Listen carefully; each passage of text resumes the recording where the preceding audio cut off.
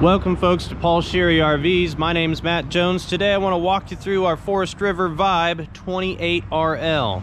It's a rear living trailer. It's a 2021 stock number 11346. We're going to take a look at the outside and then and then the inside. So first things first, as you approach the front of this camper, you'll see the tongue of this trailer.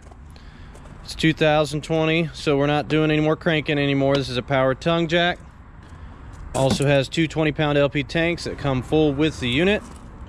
Nice feature on most of these newer campers are, are factory battery disconnect. So you, instead of taking off your negative cable and hunking your battery in the wintertime, you can just hit the battery disconnect. Fiberglass coach wrapped all the way around, higher insulation factor there. Got our pass-through storage here. You see it's got magnet catches for the storage door instead of little clips that can bust off from time to time. So you can see it passes all the way through the front of this camper. You can see the nice aluminum framing as well. You've got manual stabilizer jacks on all four corners. Keep the camper nice and stable. Moving along the side of the camper, this unit's got some water hookups here. You've got your city water connection. You've got an outside hot and cold shower, uh, as well as a black tank flush for the unit as well. Keep your black tank clean.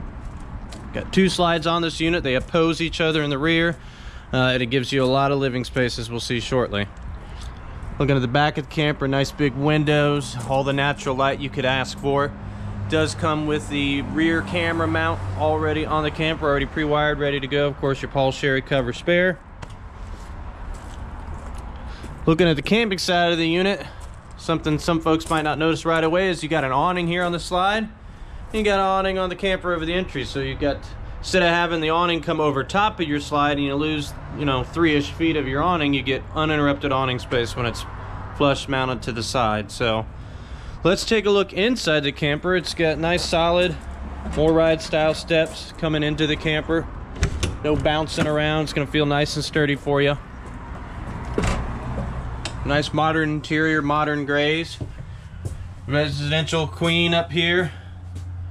Got plenty of room to sleep. You've got windows to both sides. Both of them slide open and are vented.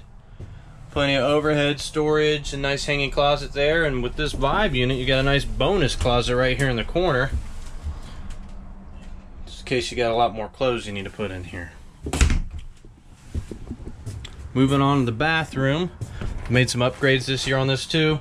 More of a fifth wheel style shower. It's squared in, a low profile shower pan Plenty of headroom in the skylight for some taller folks, as well as a nice linen closet. So put toilet paper and all the other things you might need to in there. Big feature on this camper is this nice big living space. Uh, with each slide out, got tons of floor space. Nice kitchen island here for extra countertop space. Flush mounted sink, stainless metal sink Got our Everchill residential style fridge here. It's a nice stainless look to go along with the rest of the camper. Storage all in this bank along here. No little spot for a coffee pot or a toaster. Of course your fridge, your microwave, your oven, your range there. Full pantry, floor to ceiling. Gotta have enough storage. Got our entertainment cabinet here. LCD TV comes with the unit as well as the electric fireplace. Got a trifold couch here, fold out into a full bed. Got some nightstands next to each side of it. On our opposite slide here, we've got two fully reclining standalone chairs. They can move in, be moved anywhere throughout the coach. And to keep up with the residential style and feel of this vibe, we've got a table and chairs versus a booth or a dinette. So plenty of extra room in front of the table. Once again, this beautiful unit's a 2021 Forest River. This is their 28RL rear living model. Thank you for watching today. Please come out and take a look at this one. Thanks again.